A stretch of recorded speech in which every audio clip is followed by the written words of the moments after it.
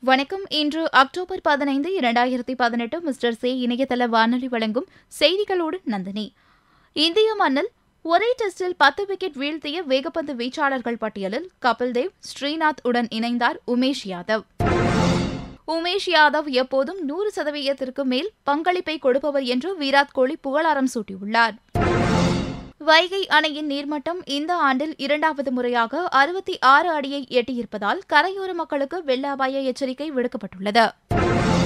One plus sixty smart போனில் Android five இயங்குதளம் eight GB RAM கொண்டிருக்கும் என சமீபத்தில் வெளியாகியிருக்கும் தகவல்களில் தெரியவந்துள்ளது. ரஷ்யாவில் அதிபர் புதினுக்கு எதிரான மக்கள் போராட்டத்திற்கு தலைமை தாங்கிய எதிர்க்கட்சித் தலைவர் அலெக்சி நவல்னி இருபது நாள் சிறைவாசத்துக்கு பின்னர் இன்று விடுதலையானார். ஏமன் நாட்டில் சவுதி விமானப்படைகள் நடத்திய வான் தாக்குதலில் பொதுமக்கள் பதினைந்து பேர் பரிதாபமாக உயிரிழந்தனர். தமிழ்நாடு மற்றும் புதுச்சேரிக்கு காங்கிரஸ் கட்சியின் சார்பில் பிற்படுத்தப்பட்டோர் பிரிவு தலைவர்கள் நியமனம் செய்யப்பட்டுள்ளனர். மராட்டியத்தில் ஆன்லைன் விற்பனை மூலம் வீடுகளுக்கு மதுபானங்களை விநியோகம் செய்ய திட்டமிடப்பட்டுள்ளது. சபரிமலை விவகாரம் தொடர்பாக திருவிதாங்கூர் தேவசனம் போர்டு ஆலோசனைக் கூட்டம் நாளை நடைபெறவுள்ளது. கூடுதல் பாதுகாப்பு அம்சங்களுடன் நாடு முழுவதும் ஒரே மாதிரியான ஓட்டுநர் உரிமத்தினை ஜூலை மாதம் முதல் அமல்படுத்த மத்திய அரசு திட்டமிட்டுள்ளது. காவிரி உள்ளிட்ட நதிநீர் பிரச்சினைக்கு தீர்வு காண புதிய ஆணைகள் அமைக்க நாடாளுமன்ற குளிர்கால கூட்டத்தொடரில் மசோதா தாக்கல் செய்யப்பட உள்ளது பாகிஸ்தானின் கராச்சி நகரில் முகமது ரசீத் என்ற ஆட்டோ டிரைவரின் வங்கிக் கணக்கில் முன்னூறு கோடி பணம் பரிமாற்றங்கள் நடந்துள்ளது. மலேசிய இடைத்தேர்தலில் அன்வர் இப்ராஹிம் வெற்றி பெற்றார். அதனால் அவர் மீண்டும் தீவிர அரசியலில் குதிக்க உள்ளதாக தகவல்கள் வெளியாகியுள்ளது. ஜெயலலிதா மரணம் குறித்து விசாரிக்கும் நீதிபதி ஆறுமுகசாமி ஆணையம் மேலும் நான்கு மாதங்கள் கால நீட்டிப்பு கேட்டு அரசுக்கு கடிதம் எழுதியுள்ளார். வடமாநில ரயில் கொள்ளையர்கள் பல்வேறு நகைகள் கொள்ளையடித்த வழக்குகளில் சம்பந்தப்பட்டிருப்பது தெரியவந்துள்ளது. நேர்மையாகவும் தொடர்ச்சியாகவும் வருமான வரி செலுத்துவோருக்கு மத்திய அரசு சலுகைகள் வழங்க உள்ளது கிரீஸ் நாட்டில் அகதிகளை ஏற்றி வந்த கார் ஒன்று விபத்தில் சிக்கியது. இதில் பதினோரு பேர் உயிரிழந்தனர். பணப்பட்டுவாடா தகவல்கள் சேமிப்பு தொடர்பான ரிசர்வ் வங்கியின் நடவடிக்கையால் அமெரிக்காவுக்கு பாதிப்பு ஏற்படும் என்பதால் மென்மையான போக்கை கடைபிடிக்க வேண்டும் என்று பிரதமர் நரேந்திர மோடிக்கு அமெரிக்க எம்பிக்கள் கடிதம் எழுதியுள்ளனர்.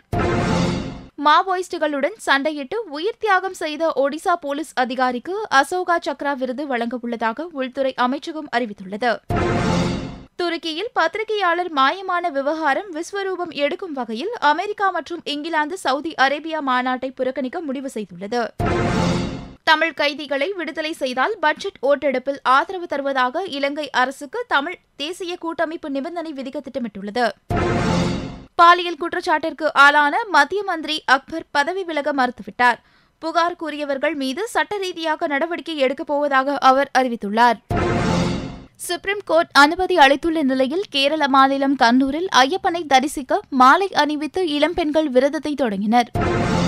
விஜயகாந்தும் நானும் நல்ல நண்பர்கள் அரசியல் என்று ஒன்று எங்களை காயப்படுத்தி இருவரையும் பிரித்துவிட்டது என்று தி ராஜேந்தர் கூறியுள்ளார். இந்தியாவில் பெட்ரோல் விலை தொடர்ந்து அதிகரித்து வரும் நிலையில் பேட்டரி வாகனங்களை வாங்க பலரும் முன் வருகிறார்கள் திருச்சியில் இருந்து சிங்கப்பூர் புறப்பட்ட ஜெட் ஏர்வேஸ் விமானத்தின் ஏசி இயந்திரம் பழுதடைந்ததால் கடைசி நேரத்தில் பயணம் ரத்து செய்யப்பட்டது. முன்னாள் ஜனாதிபதி அப்துல் கலாம் அவர்களின் பிறந்தநாளை முன்னிட்டு பெக்ரம்பு கிராமத்தில் உள்ள அவரது மணிமண்டபம் வண்ண விளக்குகளால் அலங்கரிக்கப்பட்டுள்ளது. உத்தரப்பிரதேசத்தில் உள்ள அலகாபாத் நகரின் பெயர் பிரயாக்ராஜ் என்று மாற்றப்படுவதாக உத்தரப்பிரதேச முதல் மந்திரி யோகி ஆதித்யநாத் தெரிவித்துள்ளார். கர்நாடக மாநிலம் மைசூரில் நடைபெற்ற மாரத்தான் போட்டியின் போது மதசார்பற்ற ஜனதா தளத்தை சேர்ந்த மந்திரி தேவகவுடா கால் தடுக்கி தவறி விழுந்த சம்பவம் பரபரப்பை ஏற்படுத்தியது. ஜெர்மனியில் சிறிய ரக விமானம் ஒன்று விபத்துக்குள்ளாகி விழுந்த நொறுங்கியதில் அதில் பயணம் செய்த மூன்று பேர் பரிதாபமாக உயிரிழந்தனர். ராஜஸ்தான் மாநிலத்தில் அறுபத்தி ஓரு பேருக்கு ஜீகா வைரஸ் பாதிப்பு ஏற்பட்டு மருத்துவ பரிசோதனையில் தெரியவந்துள்ளது. பாதிக்கப்பட்ட பகுதிகளில் சுகாதாரத்துறை அதிகாரிகள் தீவிர தடுப்பு நடவடிக்கையில் மேற்கொண்டு வருகின்றனர். இன்று தங்கம் கிராமிற்கு மூவாயிரத்தி இருபத்தி ஐந்தாகவும் வெள்ளி கிராமிற்கு நாற்பத்தி ஒன்று புள்ளி ஐம்பதாகவும் விற்கப்படுகிறது. இன்றைய பெட்ரோலின் விலை எண்பத்தி ஐந்து புள்ளி தொண்ணூற்றி ஒன்பதாகவும் டீசலின் விலை எழுபத்தி ஒன்பது புள்ளி எழுபத்தி ஒன்றாகவும் நிர்ணயம் செய்யப்பட்டுள்ளது. இத்துடன் செய்திகள் நிறைவடைகின்றது. நன்றி.